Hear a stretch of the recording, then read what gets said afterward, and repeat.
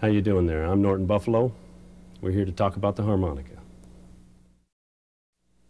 The other method that a lot of harp players use is what I call the pucker up and blow method. You make your mouth into a nice tight little pocket like you're going to whistle.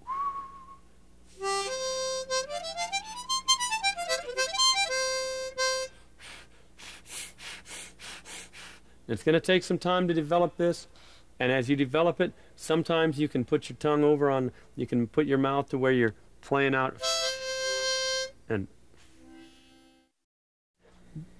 because there's going to come a point in time when in your bag of tricks, not only do you want to know how to play single notes, but you might want to take those single notes and do what we call a trill.